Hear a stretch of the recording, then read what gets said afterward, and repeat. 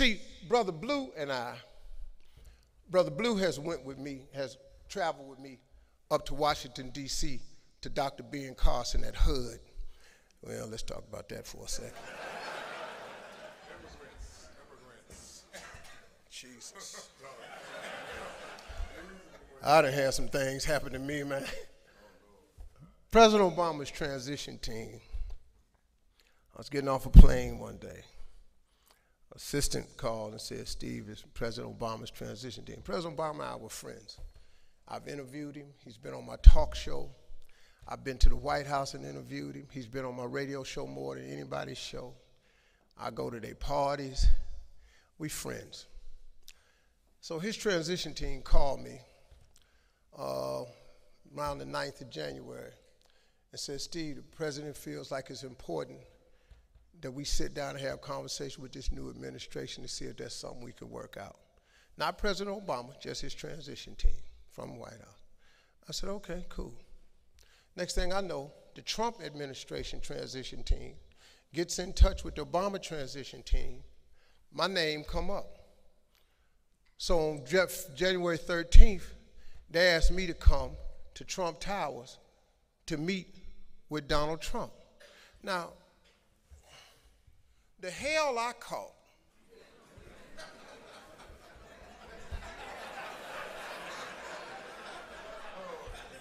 the sheer misery for making that decision. I've been so many coons, Uncle Tom, sellouts. I, I was stunned.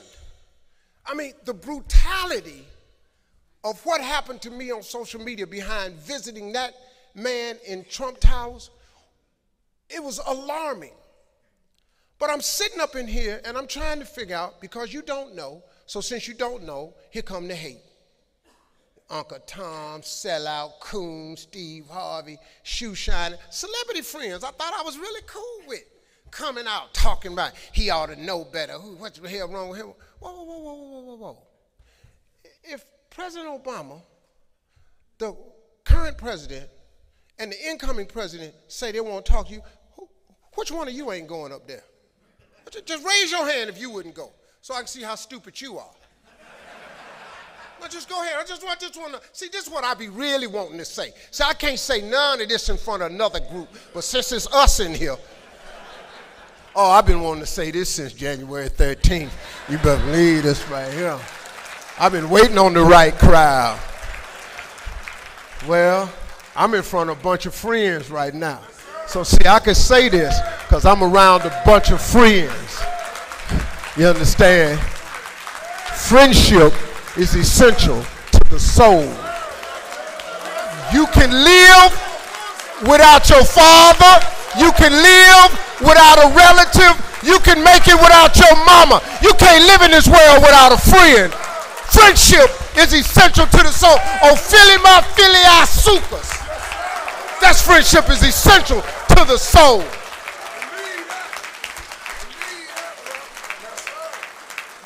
Yeah, I've been waiting on this. I'm glad Ricky Lewis asked me to come. So I go up there.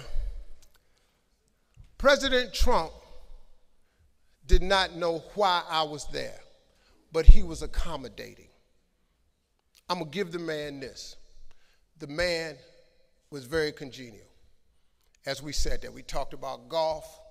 I played golf at his golf courses a lot. I don't play well, but I play. We talked about that. He's really congenial. And we're sitting there, he thought that since we shared a common friend, Mark Burnett, Mark Burnett produced Apprentice, and Mark Burnett produces my new show, Steve Harvey's Funderdome, that I was there to talk about possibly doing some type of program. I said, No, sir, I'm not. So it got around to it. After 25 minutes of talking, he said, So, Steve, what can I do for you? Now, I had thought of what I would say when I got up there. So I said, Well, it's really nothing I want you to do for me. I said, I want to do something for you. And he said, President Trump said, You want to help me? I said, yeah. I said, if you've appointed Dr. Ben Carson the head of HUD, and I would like to help him because I don't think he has the um, celebrity or the name notoriety to get to these inner cities. I've been in inner cities my whole life. I got the key to 32 cities. I've been stand up a long time. I said, I can help him with some of these urban situations because I'm from there. And I want to do something to help him. He said, So what do you want to do? I said, Well, I have a mentoring program, but my mentoring program is restrictive because I can only do about a thousand boys. And I can do them only one time a year in each city. I want to create vision centers around the country where I can take these schools that you're closing in the inner cities, take HUD funds, put it with them, and then go in and refurbish these schools and buildings and turn them into a place where boys and girls can come and learn life skills and parents can come and learn financial skills, literacy skills to make it. And then eventually, I would like to build vision homes around it to help support these communities so we have wonderful community. I want people who are less fortunate to have a better way of life. He said, I like that. Let me get Ben Carson on the phone right now. I kid you not. In two minutes, he had Ben Carson on the phone. He put Ben Carson on the phone, and he and I started talking, and I introduced the concept to him of vision homes right there in the office. He said it's a done deal. I've since then that, that well, the problem I had was after the meeting was over, I was supposed to go downstairs by myself and go on over to the rope and address the media. President Trump said, Steve, I'm to go down with you. All right. We get off the elevator, we walk up to the rope, all the cameras is on, and first thing he said, what we're going to do first thing in this office is replace and repeal Obamacare. I'm standing there, I went, look at the tape. Go back and look at the tape and look at Steve's face. Because I'm going, there ain't shit we said upstairs. I'm sorry. I'm sorry. I'm sorry. I'm sorry.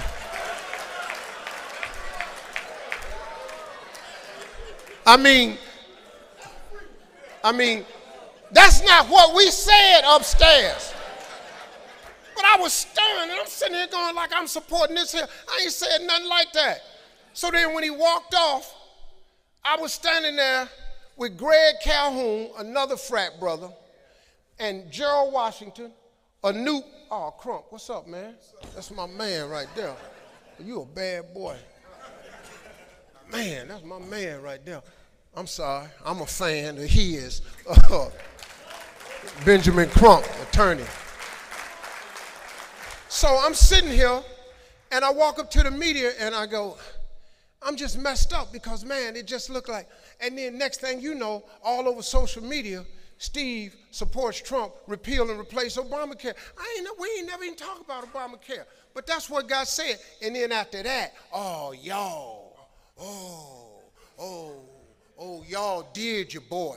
Am I the reason you get stoned every week now? Build up integrity, got you texting, emailing me, wanting me to feel with you. Baby, just face reality, move on. Sometimes it's hard to face reality.